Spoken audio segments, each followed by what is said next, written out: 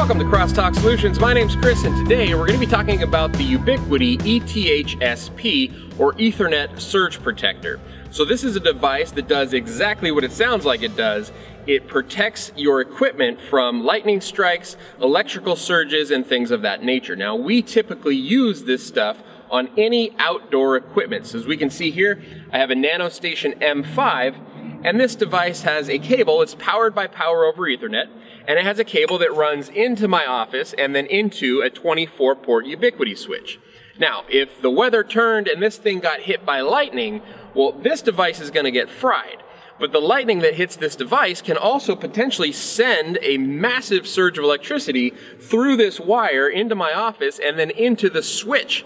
And that switch is, you know, it's an expensive switch. It's a two or three hundred dollar 24 port Ubiquiti switch. So I certainly don't want to damage that equipment. So in order to prevent that, we have the ETH-SP, which is just a surge protector. So basically we're going to run a line out from the M5 into the surge protector and then out from the surge protector into my office. This functions basically as just an ethernet pass-through with a ground so that any electrical interference that comes through here grounds out instead of going through the wire. Now, this device is going to get fried, of course, but it should protect anything I have connected to the other side. Now, in a best case scenario, you would actually have two of these. You would have one of them located very close to the equipment that it's protecting, and then you would have another one on the other end of the cable closer to the switch that this plugs into. So let's go ahead and take a look at what comes in the box with the ETH-SP, and then we're gonna go ahead and set this one up for this NanoStation right here. Okay, let's take a look at what is included with the ETH-SP.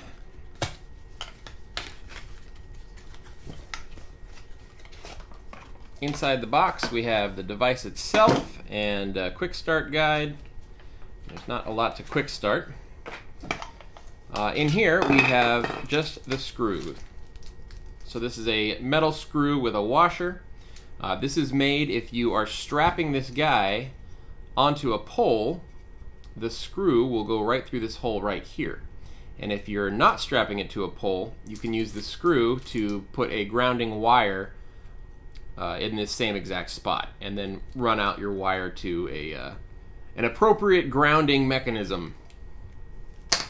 As far as the Ethernet ports themselves, if you look here, you can see that both sides of this thing say ETH in out, which means that you can plug in an Ethernet either side. It doesn't matter. There's no input output. Either side works. It's basically just a straight through. It's almost like a coupler, if you will.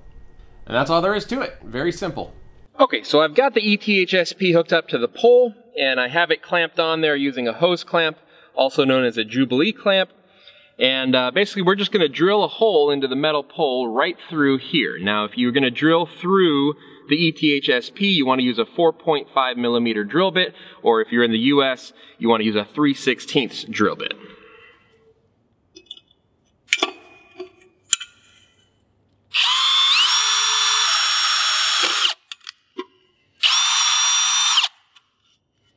There we go.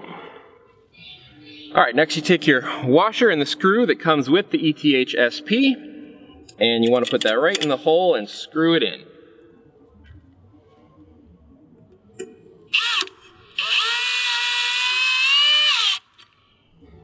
All right, finally, we're gonna plug into our NanoStation here, plug it into main, and again, I'm using a NanoStation in this example, but this protects any outdoor equipment very, very good idea to have on any outdoor equipment.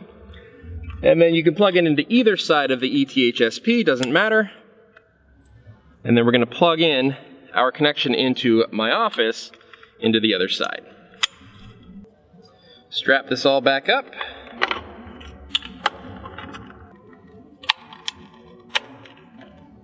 And there we go.